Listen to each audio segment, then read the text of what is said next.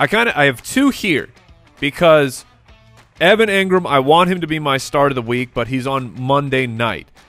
So it's it could be difficult for some teams to lock into Evan Engram and be ready to go. The matchup is great. I think that Eli Manning, who is my stream of the week, is going to come to life. Evan Engram could shock you though as being a surprise out. He is on track uh, to play Monday night, but if you don't have Austin Hooper, then you're going to be in a really bad position with your tight end. And Austin Hooper is actually my other start of the week. NBA Jam rules. Austin Hooper is the breakout real. I think we're going to find out this week. The New York Giants are not a defense that can shut down the the tight end position. So Austin Hooper with the double So- digit targets the past two weeks.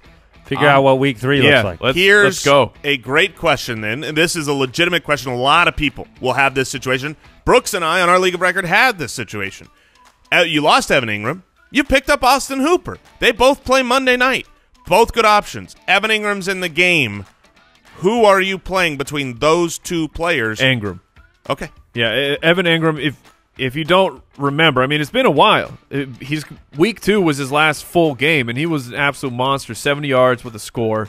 Uh, only 19 yards in the game when he was knocked out. But Evan Engram is He's a very unique and special talent. yes, Ev- he is a great pass catcher. He is a great player, and the New York Giants they need him. Hey, everybody! Thanks for watching. If those were the best few minutes of your life, you should probably click the subscribe button and check out a full length episode.